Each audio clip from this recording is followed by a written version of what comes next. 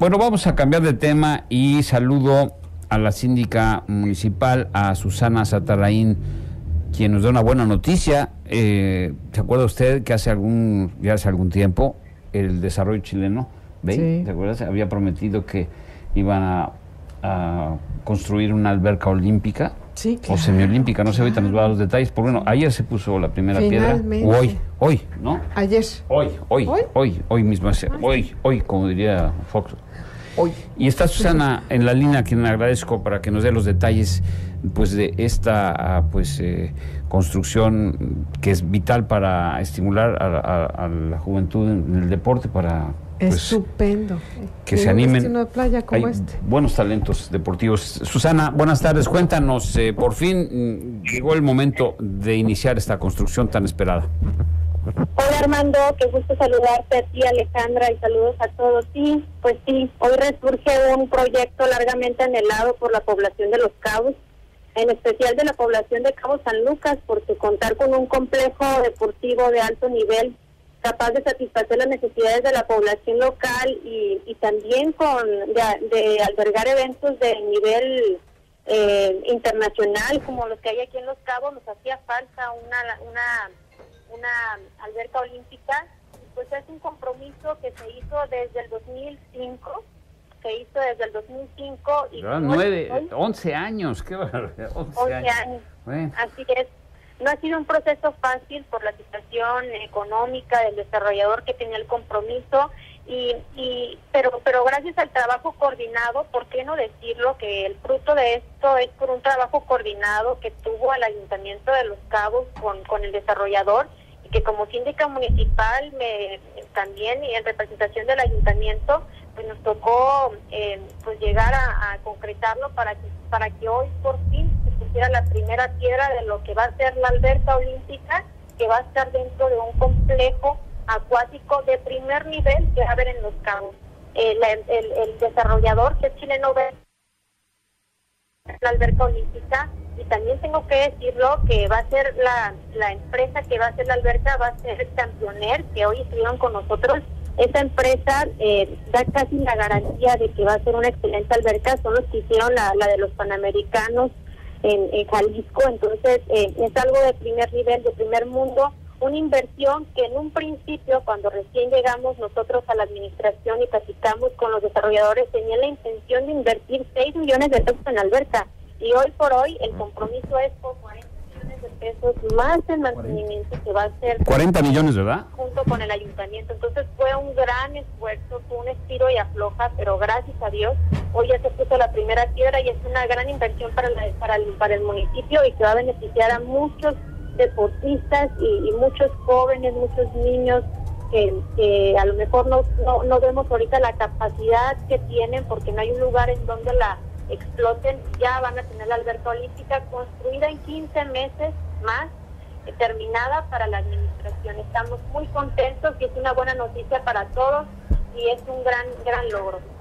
En año y medio. Susana, buenas tardes. Soy Magdalena Torres. ¿Cómo estás?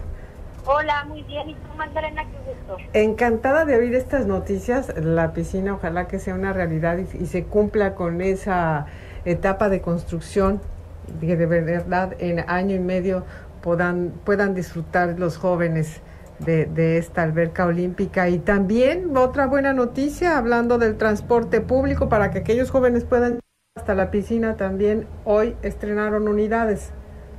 Así es, exactamente. Estamos muy contentos por la noticia. Y, y otra cosa que también es importante mencionarles es que el lugar donde se va a hacer, que es el Don Col, y que fue un tema eh, muy complejo el decidir dónde se hiciera la alberca olímpica, porque lo que queremos hacer es hacerla en un lugar, uno, accesible para los ciudadanos, y dos, en un lugar donde donde fuera patrimonio municipal. Entonces, el Don Col, en este año, en marzo de este año, eh, tenemos Sí, dime. y es parte del patrimonio municipal, porque no está mal decirlo, no teníamos la certeza pública del Don Col, hoy por hoy en esta administración ya la tenemos y, y ha sido una, una gestión también que hemos hecho, entonces eso va a garantizar que se puedan gestionar recursos federales para hacer mm, eh, el complejo más deportivo más grande en los cabos, ¿no? Entonces es una gran noticia Eh, hoy estuvimos el presidente municipal, regidores de la administración, funcionarios, Chile Novey, participaron varias asociaciones civiles, participó también el POI y, muchos deportistas fueron testigos de esta primera quiebra. Entonces, una gran noticia y también, claro, el transporte, que eh, los camiones de transporte que se entregaron fue un gran logro. Este, ¿Cuántos camiones se entregaron el día de hoy? No tengo exactamente el número, pero tengo entendido que son tres o cuatro. Ah, qué bueno. Siempre es bueno, ¿verdad? Lo que sea su voluntad. Eh, regresando al complejo donde estará la alberca olímpica, ¿qué, qué, qué incluyen las instalaciones aparte de la piscina? Primeramente, y eso era muy importante garantizarlo, que estuviera techada. Una alberca en los cabos que no estuviera techada iba a ser muy complejo, iba a ser un elefante blanco porque las características climáticas de nuestro municipio pues eh, no no no son eh, adecuadas para tener una alberca sin techumbre en un en una temperatura adecuada entonces va a ser una alberca techada eh, y tiene varias características técnicas que para que los deportistas tengan un mejor un mejor rendimiento por supuesto va a tener sus baños sus oficinas este su pequeño gimnasio este y, todo lo necesario para, para, para que sea útil para todos, ¿no? Okay. ¿Va a tener también temperatura este para, para el invierno? Así es, va a ser va a tener va a tener todo el sistema que eso es algo que no se ve, ¿no? Pero que va a estar por debajo, va a tener todo el sistema para tener la alberca en una temperatura adecuada en la de calor y en el tiempo de frío estén los deportistas eh, puedan entrenar adecuadamente. De nuevo, Armando, eh, eh, Susana, entonces, ¿es una alberca semiolímpica o olímpica? Olímpico. Olímpico, 50 metros, o sea, 50 metros va a tener su fosa de, también de clavados y toda la cosa.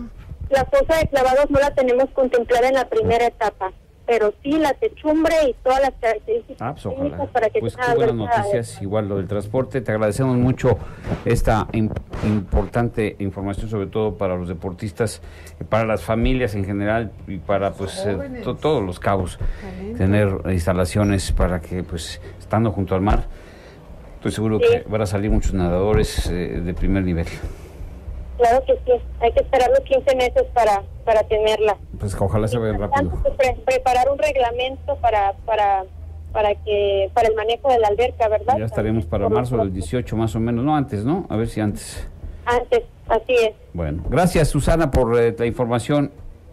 Gracias a ustedes por recibirme la llamada. Muchísimas Que te vaya muy bien. Hasta luego, Susana Sataraín, Sataraín, síndica municipal.